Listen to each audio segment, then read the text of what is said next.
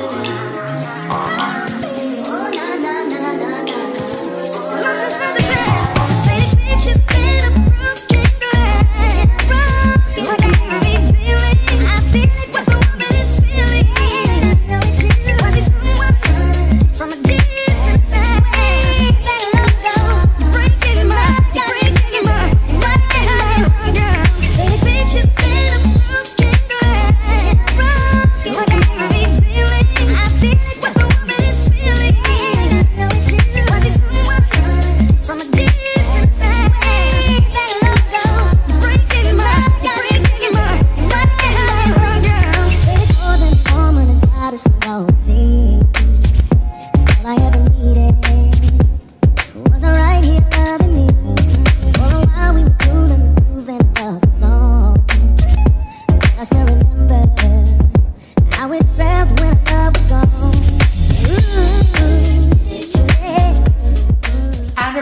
Thank you guys so much for watching this haul. We look forward to decorating our rooms with everything that we've purchased. We've been really like hoarding it a little corner in my room.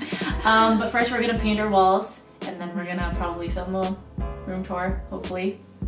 So if you like the stuff that we picked out from Society 6, we actually have a curated collection where yeah. you guys can check it out and shop the stuff that we featured on this video. And in addition, we have a promo code to give to you guys, which is twos and 9s mm -hmm. and you can use that to get 10% off your purchase and free shipping worldwide which is crazy yes. Honestly, they shipped their stuff so well. It came in such like well packaged boxes so that the frames wouldn't break. And mind you, like these are big packages if you like get big frames. So yeah, it's really good. cool. And that is all for our video. Check us out on our Instagram platforms at Cassie Masangkay, at Ricci Pamintuan, and at We Are to the Nines. You can hashtag, hashtag We Are to the Nines to be featured. Thanks for watching. We'll see you in our next one. Bye.